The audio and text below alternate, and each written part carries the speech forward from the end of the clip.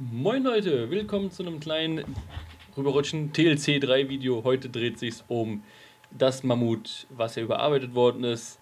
Äh, ich würde heute dem, Video, in dem Video euch heute zeigen, im Prinzip was verändert worden ist, was er jetzt so kann.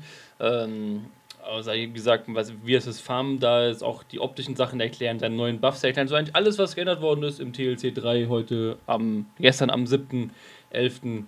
jetzt in dem Video. Wir fangen mal an. Optisch wurde er ein bisschen angepasst. Er hat ein paar Veränderungen bekommen. Finde, sieht echt hübsch aus, muss ich sagen. Also das Mammut gefällt mir sehr gut. Auch der neue Sattel, der jetzt hier ein Zweisitzer ähm, Sattel mit einer Trommel drauf ist, finde ich auch super cool Design, so von den ganzen Details hier. Äh, ich würde sagen, wir gehen das Ganze mal grob durch.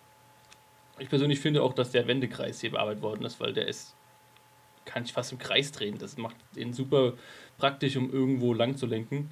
Aber kommen wir mal zu den, zu den wichtigen Sachen. Also er kann jetzt Stroh und Holz beides gleich gut abbauen. Also wir haben einmal den Angriff auf R2, wo ihr seht, dass der mehr Stroh als Holz abbaut.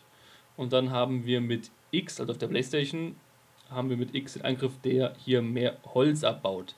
So, das sind schon mal die beiden Moves, die der, äh, das Mammut jetzt hat, um äh, zu farmen.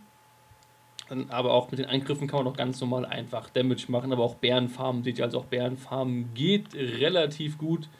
Ähm, und zum Damage machen wären diese beiden Angriffe aber auch da.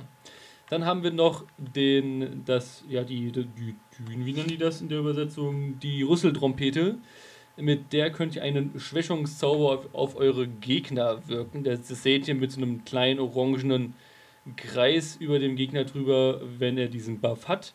Äh, einfach, wie gesagt, R2 drücken. Ich kann mal jetzt gucken, ob ich es hier bei dem Para machen kann. Ähm, gucken wir vorführeffektenmäßig. Seht ihr da oben ist jetzt ein kleines Symbol oder so ein kleines Leuchten orange über dem Kopf und das bedeutet, dass er von dem Schwächungszauber getroffen ist.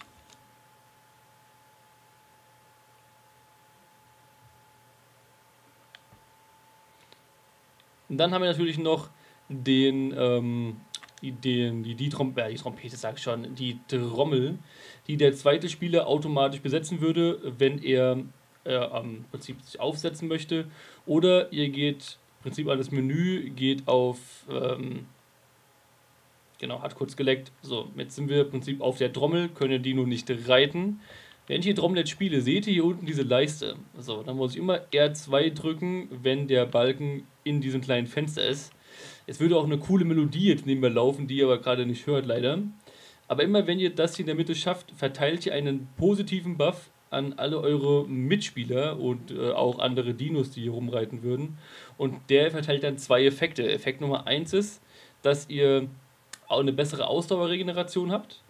Und Effekt 2 ist, dass man immun gegen den 4-Effekt vom Duty wird. Also das Ganze ist ein kleines Minispiel hier, was dann im Prinzip der, die, die Person, die das, ähm, die den zweiten Sattel, also als Zweisitzer die Trommel tätigt, ein bisschen spielen muss.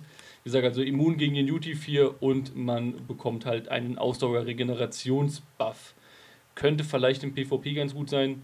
Ähm, bin mir da nicht so sicher, wie man ihn einsetzt, aber wie man zumindest diesen Ausdauerbuff gut einsetzt. PvE ist, ist ja eigentlich ganz in Ordnung, weil könnte bei gewissen Fights echt nicht verkehrt sein, einen besseren Ausdauerreck zu haben.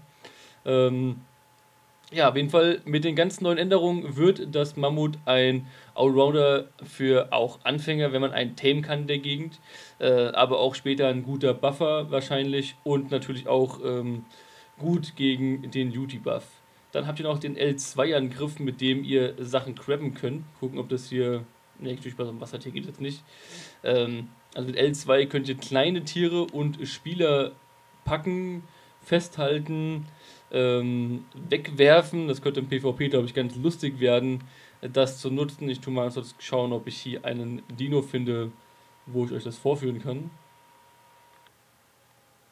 So, da haben wir einen kleinen Lystro, der arme Mann Dame, also mal männlich, weiblich ist. So, ihr seht auf jeden Fall, ich habe hab jetzt den Lustro gepackt, der ist jetzt hier vorne im, im Rüssel und jetzt habe ich hier dieses Fadenkreuz in, vor mir und kann dann im Endeffekt den, das war der Buff, sorry, den Lustro so gesehen mit erneuten L2 drücken, einfach wegwerfen und da fliegt der gute.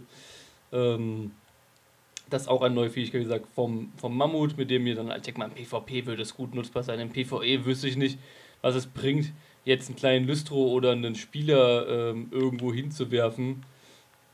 Weiß ich nicht, außer dass es vielleicht lustig ist, glaube ich, dass es keinen großen Verwendungszweck finden wird. Aber da könnt ihr auch in die Kommentare schreiben, Leute, ähm, ob ihr einen, einen sag mal, Verwendungs Verwendungszweck dafür habt oder eine Idee habt oder generell könnt ihr mal schreiben, was findet ihr zu Mammutüberarbeitung? Sagt ihr, ihr findet es ganz cool, dass, er so, dass das so überarbeitet worden ist oder sagt ihr eher, nee, immer noch langweilig, immer noch uninteressant für mich in meiner Base?